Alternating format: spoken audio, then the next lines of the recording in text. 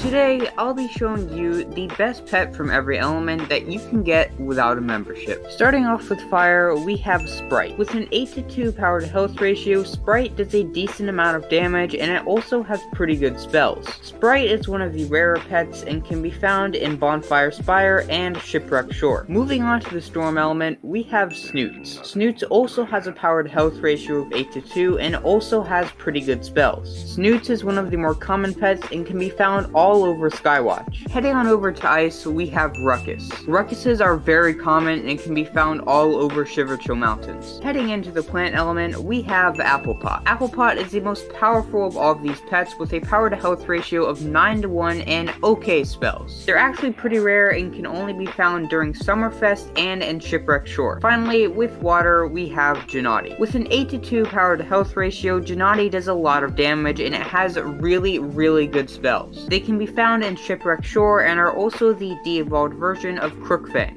Even though you now know the best pet from every single element that you can get, there is still so much more to learn, so I recommend you click on this video to learn more.